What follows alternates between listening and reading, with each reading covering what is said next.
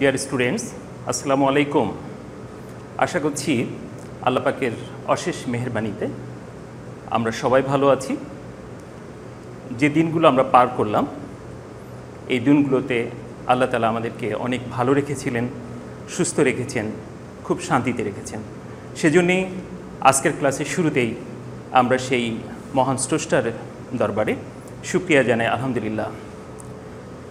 বেশ কিছুদিন পরে তোমাদের সামনে আবারও আমি এসেছি। আমি মোহাম্মদ সাজিদুর রহমান, যশোর জেলা স্কুলের ভূগোলের শিক্ষক। আজকেও আমরা মনস্থির করেছি ভূগোলের একটি বিষয় তোমাদের সামনে উপস্থাপন করব। বিষয়টা একটু গুরুত্বপূর্ণ। কারণ ভূগোলের ছাত্র হিসেবে অনেকে এই বিষয়টা নিয়ে অহেতুক একটা মানে দুর্বলতায় ভোগে বা অহেতুক এটাকে সমস্যা মনে করে। কিন্তু আমরা যদি সহজ সরলভাবে তোমাদের সামনে এই বিষয়টা নিয়ে একটু আলোচনা করি, তাহলে বিষয়টা খুবই পরিষ্কার হবে। এজন্যে দরকার হচ্ছে তোমার মনোযোগ। কত পার্সেন্ট মনোযোগ?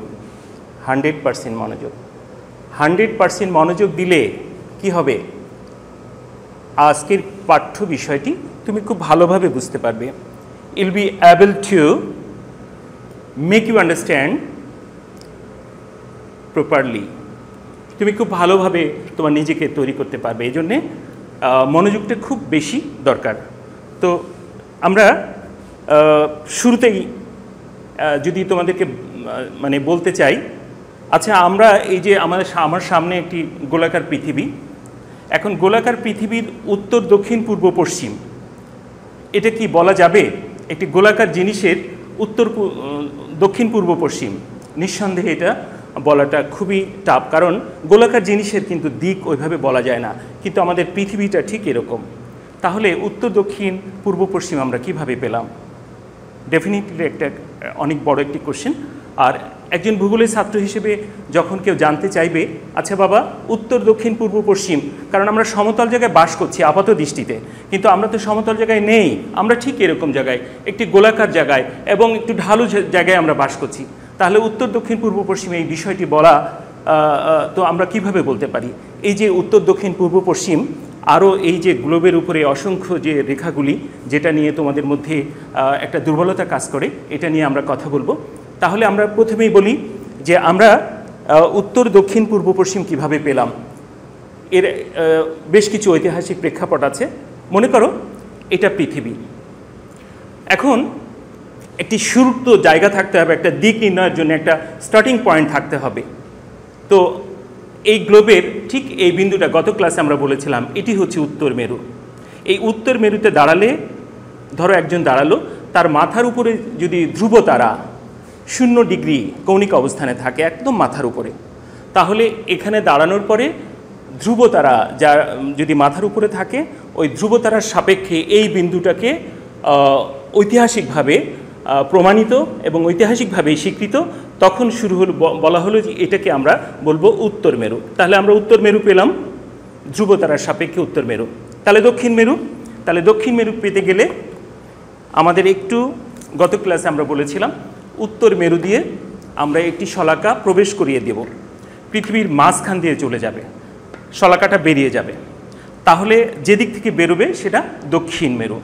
এই যে আমরা যে শলাকাটা প্রবেশ করালাম, এটা কল্পিত একটি শলাকা, যেটাকে কেন্দ্র করে পৃথিবী ঘোরে। এটাকে বলা হচ্ছে অ্যাক্সিস বা মেরু রেখা রাইট তাহলে উত্তর এবং দক্ষিণ পেলাম। তাহলে থাকে কি, পূর্ব আর পশ্চিম? তাহলে উত্তর এবং দক্ষিণ। তুমি উত্তর দিকে মুখ করে দাঁড়াও। ডান পাশে পূর্ব, বাম পাশে পশ্চিম। তাহলে উত্তর, দক্ষিণ, পূর্ব, পশ্চিম পেলাম। এই যে পেলাম, দিক পেলাম, এটার উপরেই আজকে আমাদের আলোচনা। তাহলে আমরা একটু ছবির মাধ্যমে বুঝে নিই তোমাদের এই অনলাইন ক্লাসে আমি স্বাগত জানাই। আবারও স্বাগত জানাই। আমরা একটু ভিডিওটা দেখে নিই। আজকের আলোচনার ব্যাখ্যার জন্য এই ভিডিওটা তোমাদের খুব দরকার। তো আসো।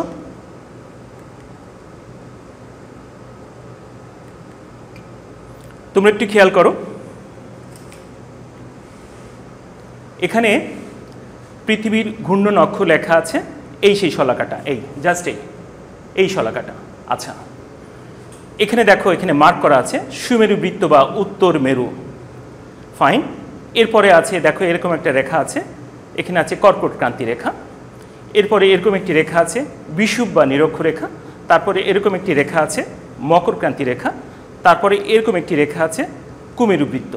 ঠিক আমি বলেছিলাম, এই বিন্দুতে দাঁড়ালে ধ্রুবতারা মাথার উপরে আসে। তাহলে এই বিন্দুটি হচ্ছে উত্তর মেরু বা নর্থ পোল এই বিন্দুটা হচ্ছে দক্ষিণ মেরু বা সাউথ পোল ফাইন এপাশে দেখো সূর্য সূর্য রশ্মি। খারাপভাবে এই যে দেখো, এখানে স্ট্রেট কিরণ দিচ্ছে। এই যে আমাদের বাংলাদেশ, একেবারে দেখো সূর্যরশ্মি খারাপভাবে ফাইন একটা, এগুলো একটু খেয়াল রাখো, পরে আমাদের কাজে লাগবে।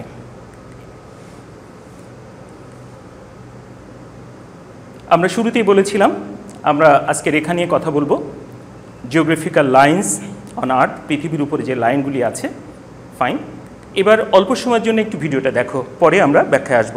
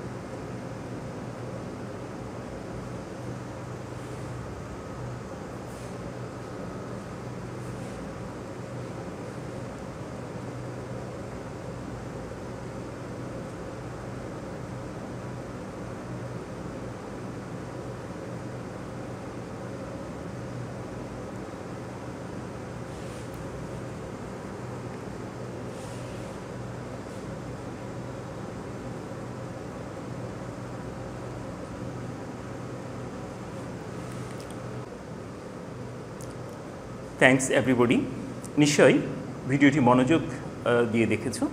এখন আমরা যেটা দেখলাম এবং শুরুতে যেটা বলেছিলাম, তার ব্যাখ্যা আমি আসব। তার জন্য অবশ্যই আমরা একটু বোর্ডে যাব।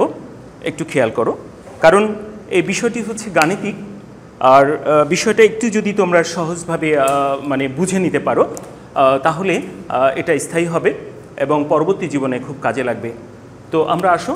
আমরা এরকম একটি পৃথিবী একটি গ্লোব দেখেছি, আমরা এঁকে নিলাম। ফাইন একটু মনে রাখার চেষ্টা করবে। আমরা শুরুতে বলেছিলাম, এটা নর্থ পোল এটা সাউথ পোল তাহলে এটা নর্থ এটা সাউথ এরকম একটি রেখা আমরা দেখেছি রাইট এটাকে আমরা বলছি নিরক্ষ রেখা। নিরক্ষ রেখা দেখেছি, বা বিষুব রেখা। বা ইকুয়েটর ইকুয়েটর বা মহাবৃত্ত ফাইন এটা কি? ফাইন খেয়াল করো, আমার হাতে যে গ্লোবটি আছে পৃথিবীর এই অংশটা স্ফীত, ঠিক মাঝখান বরাবর। আমি যেটা এঁকেছি, আমরা তো সমতল জায়গায় এঁকেছি, একটি সোজা দাগ এঁকেছি, কিন্তু আসলে পৃথিবী অভিজ্ঞত গোলক। তাহলে এই রেখাটা পৃথিবীকে পুরো বেষ্টন করে আছে। তাহলে পুরো বেষ্টন করে যদি থাকে, তাহলে চিত্রটি এমন হবে।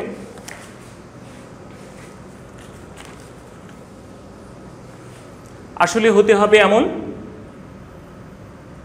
ওপাশ দিয়েও আছে। কিন্তু আমরা বোঝানোর জন্যে স্টেট এঁকেছি। আসলে বৃত্তটা এমন, মহাবৃত্ত। এবং এটাকে বলা হচ্ছে নিরক্ষ রেখা। তাহলে আমরা কি পেলাম? পৃথিবীর উত্তর এবং দক্ষিণ তার মাঝখানে, মাঝখান বরাবর, পূর্ব এবং পশ্চিম দিকে যে রেখাটা চলে গেছে, সেটাকে বলা হচ্ছে নিরক্ষরেখা। এটা কাল্পনিক রেখা। তাহলে উত্তর এবং দক্ষিণ দিকে সমদূরত্বে। পূর্ব এবং পশ্চিম দিকে যে রেখাটি চলে গেছে, সেই রেখাটিকে আমরা বলছি নিরক্ষরেখা। এটার দৈর্ঘ্য প্রায় চল্লিশ হাজার কিলোমিটার।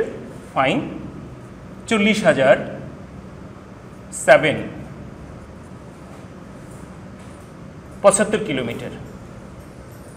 এই রেখাটির দৈর্ঘ্য, আমরা যে রেখাটি তোমাদের বলেছি, ঠিক এই দৈর্ঘ্যটা, এ পাশটা, চল্লিশ হাজার কিলোমিটার।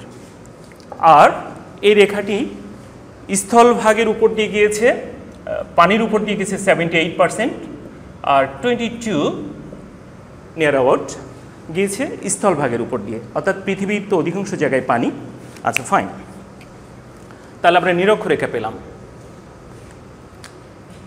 তাহলে আমরা বলতে পারি,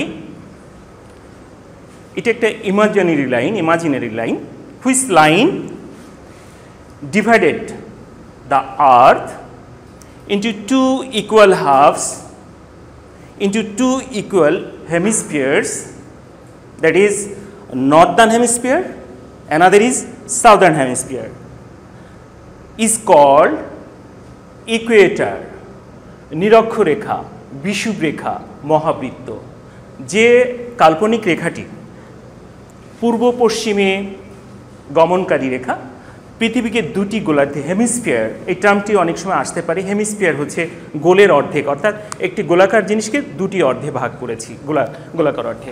তাহলে সেটাকে আমরা বলছি নিরক্ষরেখা, পৃথিবীকে দুটি অর্ধে ভাগ তাহলে এটা টোটালটি হচ্ছে উত্তর গোলার্ধ নর্দার্ন হেমিস্ফিয়ার এটা টোটালটা হচ্ছে সাউদার্ন হেমিস্ফিয়ার এটুকু ক্লিয়ার আচ্ছা। তাহলে আমরা পেলাম হচ্ছে নিরক্ষরেখা, চলে গেল। আচ্ছা। নিরক্ষরেখার সমান্তরালে আমরা কিছু রেখা দেখেছি। আমরা মনে করো এরকম রেখা দেখেছি। এগুলো স্টেট আছি বটে, কিন্তু নিরক্ষরেখা যেমন বক্রাকার, গোলাকার, এটাও কিন্তু গোলাকার। তাহলে এই রেখাগুলোকে কি বলে? নিরক্ষরেখার সমান্তরাল রেখাগুলোকে বলে অক্ষরেখা। অক্ষরেখা। অক্ষরেখার ইংরেজি হচ্ছে latitude. Latitude mean means parallel parallel অর্থাৎ নিরক্ষরেখার সমান্তরাল। এটাকে বলছি আমরা অক্ষরেখা। তাহলে অক্ষরেখা কাকে বলব? নিরক্ষরেখার সমান্তরালে সমান্তরালে পৃথিবীর উত্তর। তাহলে দক্ষিণ দিকেও তাই হবে। দক্ষিণে যে রেখাগুলিকে কল্পনা করা হয়, সেগুলোকে বলে অক্ষরেখা। অনেকে হাসির ছলে বলে, অক্ষরেখা মানে অ লিখতে গেলে দেখো, অ অ, এই এমন অক্ষ অক্ষরেখা। তাহলে এটা অনেকে বলে, এটা অ লিখতে গেলে লাগে মানে অ। এটাকে অনেকে বলে, অ লিখতে গেলে যেমনটি লেখা হয়, সেটাকে অক্ষরেখা বলে। এটা জাস্ট মনে রাখার জন্যে, আর কিছু না। ফাইন। তাহলে আমরা পেলাম অক্ষরেখা এই অক্ষরেখা ফাইন এরপরে আরেকটি টার্ম আছে, অক্ষাংশ। অক্ষাংশ। অক্ষাংশ। তাহলে অক্ষরেখার অংশ হচ্ছে অক্ষাংশ। সেটা আবার কি জিনিস? তোমরা দেখেছ, অক্ষরেখা বা দ্রাঘিমা রেখা লেখার জন্যে আমরা ডিগ্রি, অর্থাৎ অক্ষ ডি মানে কৌণিক পরিমাপ, এটা হচ্ছে কীরকম? যে অক্ষরেখা বা দ্রাঘিমা রেখা লেখার জন্য, দ্রাঘিমা আমরা পরে আসছি অক্ষরেখা লিখতে গেলে তোমার একটি ইউনিট লাগবে, একটি একক লাগবে। যেমন দৈর্ঘ্য মাপতে গেলে মাইল লাগে। কিন্তু পৃথিবী যেহেতু গোলাকার, তাহলে গোলাকার জিনিসকে তুমি রৈখিকভাবে মাপতে পারবে না, বলতে পারবে না এত মাইল। সেটাকে যেহেতু এটা গোলাকার, তাহলে গোলাকারের জিনিসের যে মানে তার যে কেন্দ্রে কোণ তৈরি হয়, সেই কোণের হিসাবেই কিন্তু তাকে বলতে হবে। তাহলে আমরা বলতে পারি যে নিরক্ষরেখার নিরক্ষরেখার উত্তরে বা দক্ষিণে কোনো স্থান বা কোনো বিন্দুর কৌণিক অবস্থানকে অক্ষাংশ বলে। আবারও বলছি সরি নিরক্ষরেখার উত্তরে বা দক্ষিণে কোনো বিন্দুর কোনো বিন্দুর কৌণিক অবস্থানকে অক্ষরেখা বলে। আচ্ছা কীরকম বিষয়টা কীরকম? একটু খেয়াল করো। মনে করো, এটি হচ্ছে আমাদের নিরক্ষরেখা। তুমি এরকম একটি জায়গার অক্ষাংশ কত বলতে চাচ্ছ? তাহলে তোমাকে যে কাজটি করতে হবে ভূগোলের ছাত্র হিসেবে, তুমি পৃথিবীর কেন্দ্র পেয়েছ। এটাকে আমরা নিরক্ষরেখা পেয়েছি। এই পৃথিবীর কেন্দ্র থেকে কেন্দ্র কেন্দ্র পর্যন্ত ওই বিন্দু বা ওই জায়গা থেকে একটি রেখা তুমি আঁকো, কেন্দ্রকে ভেদ করো। এখানে একটি কোণ তৈরি হলো। যত ডিগ্রি কোণ মেপে মাপো সাপোজ এটা তিরিশ ডিগ্রি সাপোজ এটা তিরিশ ডিগ্রি। তাহলে এই যে কোণ তৈরি হলো, এটা হচ্ছে তিরিশ ডিগ্রি। তাহলে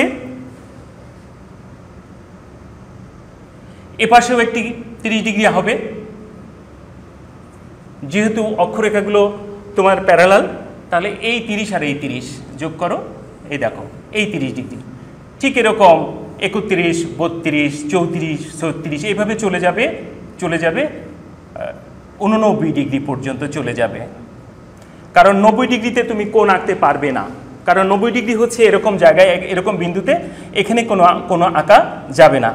এই হচ্ছে তাহলে এপাশেও এরকম উননব্বইটা উননব্বই ডিগ্রি আঁকা যাবে। তাহলে উত্তর গোলার্ধে দ্রাঘিমা অক্ষরেখা আঁকা যাবে কয়টা? উত্তর গোলার্ধে উননব্বই দক্ষিণ গোলার্ধে উননব্বই, আর নিরক্ষরেখা একটা। তাহলে মোট হচ্ছে একশো উনআশিটা। তাহলে অক্ষরেখা আমাদের একশো উনআশিটা। তাহলে আমরা কি বললাম? নিরক্ষরেখা থেকে উত্তরে বা দক্ষিণে কোনো বিন্দুর কৌণিক অবস্থানকে আমরা কি বলছি? অক্ষরেখা বলছি। তাহলে এবার আছি অক্ষাংশে। অক্ষাংশটা কি? মনে করো এটি হচ্ছে তিরিশ ডিগ্রি। তিরিশ। কারণ নিরক্ষরেখার সমান্তরালে তিরিশ হতে হবে। তাহলে এই ছোট ছোট প্রত্যেকটা বিন্দু প্রত্যেকটা বিন্দু, এই রেখার যতগুলি বিন্দু আছে, সবই তিরিশ সবই তিরিশ সবই তিরিশ সবই তিরিশ। এই ক্ষুদ্র ক্ষুদ্র বিন্দু প্রত্যেকটি হচ্ছে অক্ষাংশ, অক্ষের অংশ।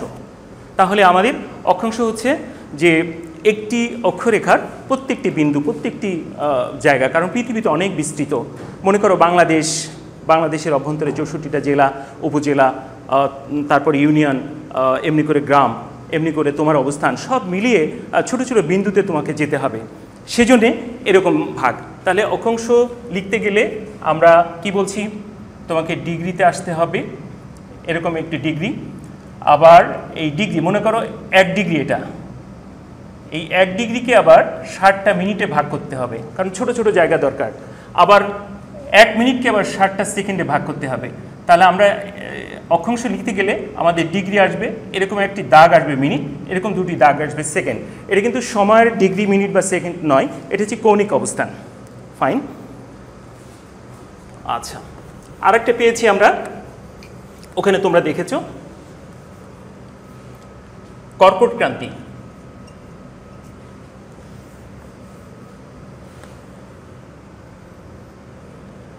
তোমরা ছবিতে দেখেছ। কর্কট ক্রান্তি রেখা, যেটাকে বলা হয়েছে সাড়ে তেইশ ডিগ্রি উত্তর গোলার্ধে। এটাকে ইংরেজিতে বলছি ট্রপিক অফ ক্যান্সার ক্যান্সার কি? ক্যান্সার রোগ, কর্কট রোগ। হ্যাঁ আসলে টার্মটা ওরকমই। ক্যান্সার সেই কর্কট ট্রফিক অফ ক্যান্সার এর কিছু ঐতিহাসিক পটভূমিকা রয়েছে। দেখো, পৃথিবী তোমরা জানো যে এরকম অ্যাক্সিসের সাথে সাড়ে তেইশ ডিগ্রি এরকম হেলে আছে। সাড়ে তেইশ ডিগ্রি হেলে আছে। তো সাড়ে তেইশ ডিগ্রি হেলে থাকার জন্যে খেয়াল করো, আমি একটি ছবি আঁকাই। এই হচ্ছে পৃথিবী, এই হচ্ছে সূর্য। পৃথিবী থেকে সূর্য দিকে একটি রেখা আঁকো। আজ থেকে তিন হাজার বছর আগে ব্যাবিলিনীয় সভ্যতার সময়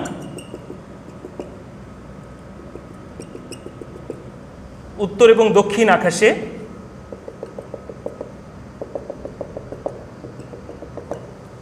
কিছু তারকাপুঞ্জ মানুষ পর্যবেক্ষণ করে তার কিছু কাল্পনিক নাম দিয়েছে।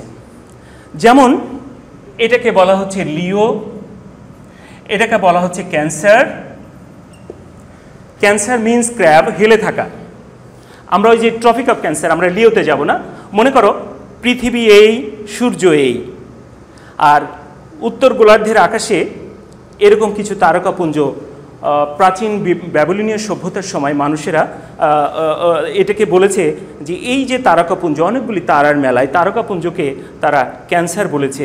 অর্থাৎ এটা, এটি, এটা হচ্ছে যে এমনই কিছু তারকাপুঞ্জ যেটা নাম হচ্ছে ক্যান্সার এবং এই ক্যান্সারটা হেলে থাকে মানে সূর্য, পৃথিবী যেহেতু হেলে থাকে এবং পৃথিবী সূর্য সূর্য প্রদক্ষিণ করে, সূর্য প্রদক্ষিণ করার কারণে এই যে, এই পথে সে যায়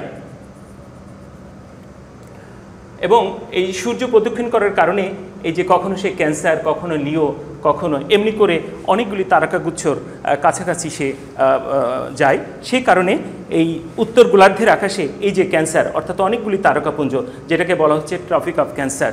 ফাইন। আরেকটা দেখেছি আমরা। দক্ষিণ গোলার্ধে ঠিক এরকম করে সাড়ে তেইশ ডিগ্রি মকর ক্রান্তি দেখেছি। মকর ক্রান্তি। এটাকে বলা হচ্ছে ট্রপিক অফ ক্যাপ্রিকর্ন এটাকে এটা যেমন ক্যান্সার ক্যান্সার তারকা ক্যান্সার কনস্টেলেশন এটাকে বলা হচ্ছে ক্যাপ্রিকর্ন কনস্টেলেশন অর্থাৎ ক্যাপ্রিকর্ন নামক তারকাগুচ্ছ ক্যান্সার নামক তারকাগুচ্ছ।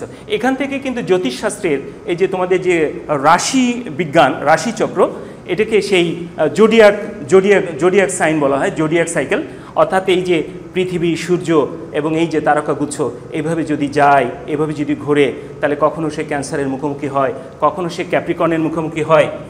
এই যে ক্যাপ্রিকন।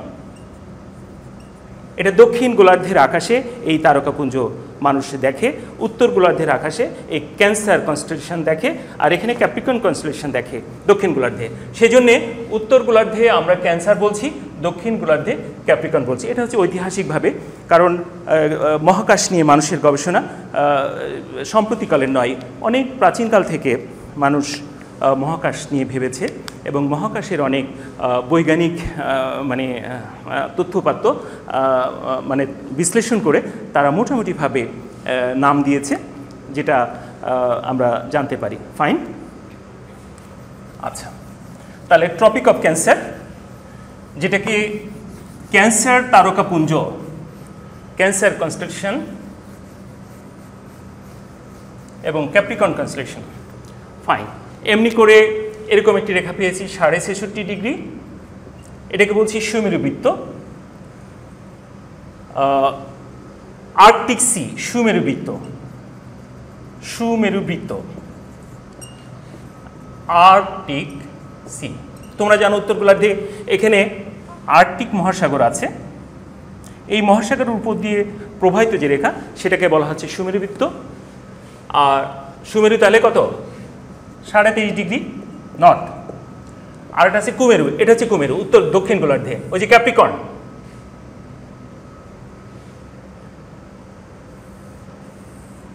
ক্যাপ্রিকর্ন আছে দক্ষিণ গোলার্ধে, আর কুমেরু বৃত্ত আছে দক্ষিণ গোলার্ধে। কুমেরু বৃত্ত কুমেরু বৃত্ত অ্যান্টার্কটিক অ্যান্টার্কটিক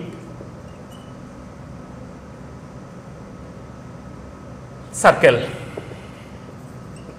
অ্যান্টার্কটিক বৃত্ত। অর্থাৎ এখানে আছে অ্যান্টার্কটিকা মহাদেশ। এই অ্যান্টার্কটিকা, অ্যান্টার্কটিক মহাসাগর, এই যে, এই অঞ্চল, এর উপর দিয়ে প্রবাহিত।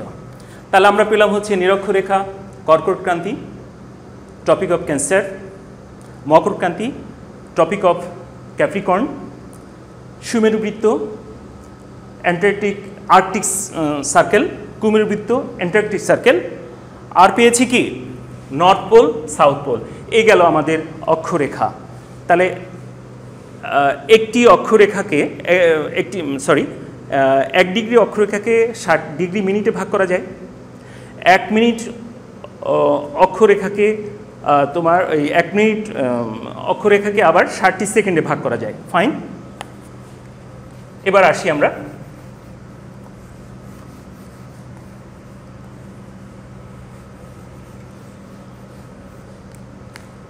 এরকম রেখা দেখেছি আমরা। এরকম রেখা দেখেছি।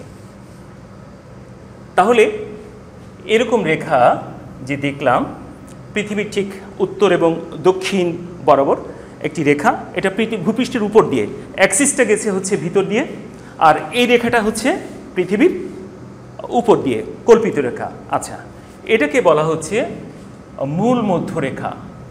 কীভাবে বললাম মূল মধ্যরেখা? মূল মধ্যরেখা। তাহলে মূল মধ্যরেখা বলার আগে আগে মধ্যরেখা বলতে হবে। তাহলে মধ্যরেখা কাকে বলে? আগে মূলটা বাদ দিলাম। মধ্যরেখার মানে হচ্ছে, ইংরেজি হচ্ছে মেরিডিয়ান। মেরিডিয়ান হচ্ছে পৃথিবীর যেখানে মধ্যাহ্ন হয়। অর্থাৎ যে কোনো জায়গায় মধ্যাহ্ন হয়, প্রত্যেকটি জায়গায় মধ্যাহ্ন হয়। তাহলে এই মুহূর্তে যদি এখানে মধ্যাহ্ন হয়, তাহলে এটা হচ্ছে মেরিডিয়ান। তাহলে পৃথিবীর মূল মধ্যরেখা হবে কীরকম? যে ওই মধ্যরেখাগুলোর মধ্যে একটি মূল ধরা হয়, সেটা কীরকম? আমরা যেমন নিরক্ষরেখা পেয়েছি, এই নিরক্ষরেখা পৃথিবীকে দুটি গোলাতে ভাগ করেছে। দ্রাঘিমে রেখা, ওই যে বলছিলাম, অক্ষরেখা হচ্ছে অয়ের মতো, আর দ্রাঘিমে হচ্ছে দয়ের মতো। এই যে দ, এখান থেকে দ লেখা যায়। তাহলে উত্তর দক্ষিণে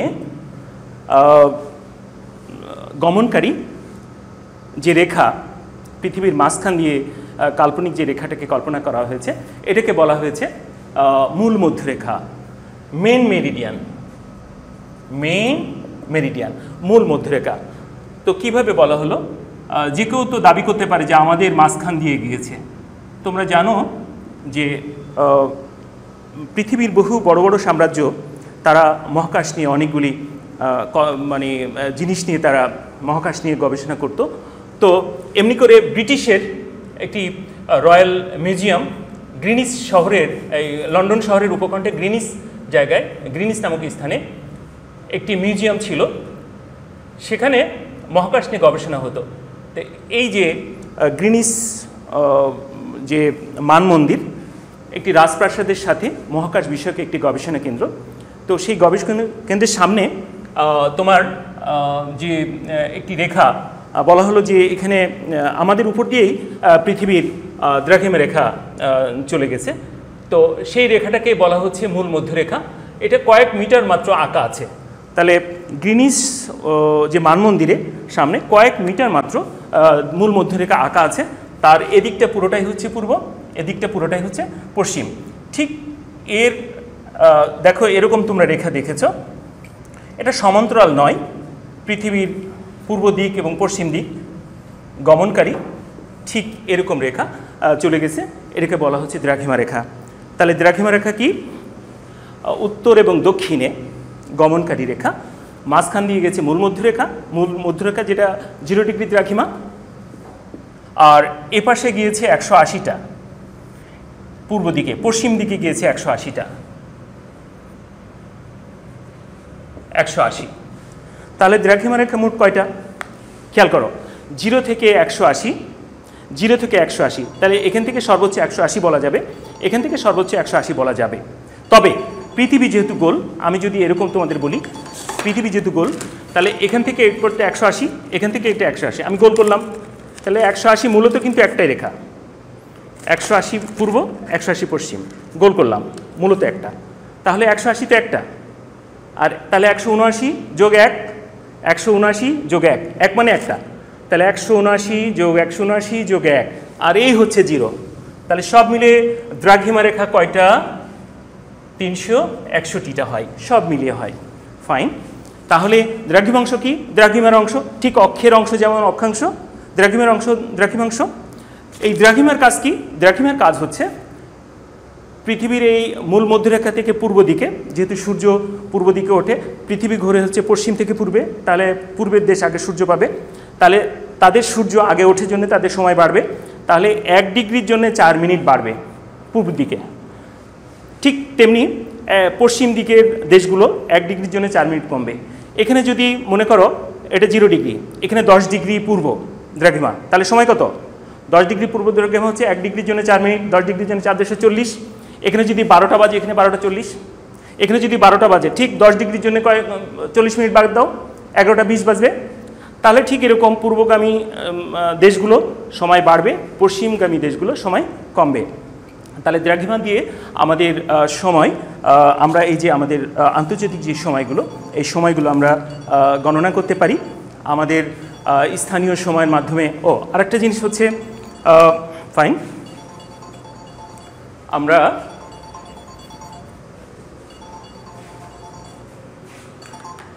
এক্সকিউজ মি মিউট করতে ভুলে গিয়েছিলাম। থ্যাংক ইউ তাহলে আমরা পেলাম দ্রাঘিমা রেখা। আমরা দ্রাঘিমা রেখা পেয়েছি। দ্রাঘিম অংশ পেয়েছি। মূল মধ্যরেখা পেয়েছি। আর একটা জিনিস হচ্ছে আন্তর্জাতিক তারিখ রেখা। সেটা একটু বলে নিই। যে শূন্য থেকে একশো আশি ডিগ্রি পূর্ব দ্রাঘিমা শূন্য থেকে একশো আশি ডিগ্রি পশ্চিম দ্রাঘিমা মূলত একই রেখা। এখন এখান থেকে পূব দিকে তুমি যাচ্ছ, একশো আশি ডিগ্রির ব্যবধানে বারো ডিগ্রি বাড়বে। এখান থেকে পশ্চিম দিকে একশো আশি ডিগ্রি যাচ্ছ, তাহলে বারো বারো ঘণ্টা কমবে। তাহলে বারো আর বারো চব্বিশ। তাহলে মূলত যদি একটাই রেখা হয়, তাহলে ওই রেখাটা যে ক্রস করছে যে রেখাটা, ওই রেখাটা যে ক্রস করছে, তার কিন্তু হিসাব মতো চব্বিশ ঘণ্টা মানে সময় এদিক ওদিক হচ্ছে, অর্থাৎ তারিখই বদলে যাবে। সেজন্যে এটাকে বলা হচ্ছে যে পূর্বগামী যে যাত্রী বা পূর্বগামী যে যদি কোনো লোক পৃথিবীর পূর্ব দিকে ভ্রমণ করে, তাহলে এই রেখা ক্রস করলেই তার সময় থেকে বা তারিখ তার তারিখ থেকে একদিক একদিন সে বিয়োগ করবে। আর পশ্চিমগামী কোনো ব্যক্তি বা কোনো কেউ যদি যায়, তাহলে যেহেতু চব্বিশ ঘণ্টার হেরফের হয় সেই জন্য সে চব্বিশ ঘণ্টা যোগ করবে। তাহলে ওই, ওটাই হচ্ছে আন্তর্জাতিক তারিখ রেখা হিসেবে, অর্থাৎ যে তারিখ, যে রেখাটি তারিখ গণনার ক্ষেত্রে প্রভাব ফেলছে ইন্টারন্যাশনালি এবং আন্তর্জাতিকভাবে তারিখ ঠিক থাকছে, সেটাকে আমরা বলছি আন্তর্জাতিক তারিখ রেখা। তাহলে আজকের আলোচনায় আমরা যেটা পেলাম, উত্তর মেরু, দক্ষিণ মেরু, নিরক্ষরেখা। নিরক্ষরেখার সমান্তরালে অক্ষরেখা, অক্ষের অংশকে অক্ষাংশ বলছি। দ্রাঘিমা রেখা, মাঝখান দিয়ে জিরো ডিগ্রি, মূল মধ্যরেখা। গ্রিনিস মানমন্দিরের উপর দিয়ে যেটা রেখা গেছে, তার সমান্তরাল নয়, দ্রাঘিমা রেখার সমান্তরাল নয়, অর্ধবৃত্তাকার। পূব দিকে হচ্ছে পূর্ব দ্রাঘিমা, পশ্চিমে পশ্চিম দ্রাঘিমা, একশো আশিটা, পূব দিকে একশো আশিটা, পশ্চিম দিকে একশো আশিটা ফাইন দ্রাঘিমার কাজ হচ্ছে সময় নির্ধারণ। যেহেতু পৃথিবীর এটি গোলাকার গোলক তাহলে সূর্য ওঠা এবং সূর্যের রশ্মি পাওয়ার সাপেক্ষে দিন ছোট বড় হয়। সেজন্যে দ্রাঘেমার একটি ফ্যাক্টর থেকে, আজকে যদি এই দ্রাঘেমা রেখা না থাকতো বা অক্ষরেখা না থাকতো, তাহলে আমি, তুমি, আমরা কেউই সুস্পষ্টভাবে পৃথিবীর কোনো একটি বিন্দুকে চিহ্নিত করতে পারতাম না। এবং এই যে আমরা মানে খুব সহজেই একজন অপরজনকে পৃথিবীর যে কোনো স্থানকে আমরা বলে দিতে পারি যে হ্যাঁ দোস্ত হ্যাঁ বন্ধু এত ডিগ্রি এত ডিগ্রি এত ডিগ্রি এত ডিগ্রি এত ডিগ্রি পূর্বে যাও এত ডিগ্রি পশ্চিমে যাও এত ডিগ্রি যেমন বাংলাদেশ সাপোজ বাংলাদেশ তাহলে আমরা যদি বলি বাংলাদেশ কোথায়? তাহলে আমরা জানি কর্কটক্রান্তিতে বাংলাদেশ কত ডিগ্রি দক্ষিণে কত ডিগ্রি আহ, নব্বই ডিগ্রি তাহলে এই দেখো নব্বই ডিগ্রি আর তেইশ ডিগ্রি, সাড়ে তেইশ ডিগ্রি, এই হচ্ছে Bangladesh. Easily we can find out Bangladesh here is Bangladesh, আমরা খুব সহজে এটা পারি। এই যে জিওগ্রাফিক্যাল লাইন লাইন্সগুলি এগুলো আমাদের জন্য খুব ইম্পর্টেন্ট আজকের ক্লাসে তোমরা যদি এই ভৌগোলিক রেখা সম্পর্কে তোমাদের ধারণা কিছু হয়ে থাকে তাহলে ভালো লাগবে। আর বাকিটা হচ্ছে যে, তোমরা তোমাদের বইয়ে ফিরে যাবে, আর কখনো মন খারাপ করবে না। আমরা অনেককে হারিয়েছি কিছুদিন আগে যশোর জিলা স্কুলের একজন আমাদের সম্মানিত সহকর্মী ছিলেন। তোমরা হয়তো চিনতেও পারো, অনেকেই হয়তো চিনবে না। জনাব মকবুল হোসেন, তিনি মারা গেছেন। এমনি করে বাংলাদেশের বিভিন্ন শিক্ষা প্রতিষ্ঠানে শিক্ষক, অভিভাবক, আমাদের প্রিয় ছাত্র বা আত্মীয় স্বজন মারা গেছেন। তাদের আত্মার মাগফরত কামনা করছি। আর অনলাইন ক্লাসে মনোযোগী হবে। প্রত্যেকটি স্যারের ক্লাস মনোযোগ দিয়ে দেখবে। তোমাদের জন্য শুভকামনা। আল্লাহ হাফেজ।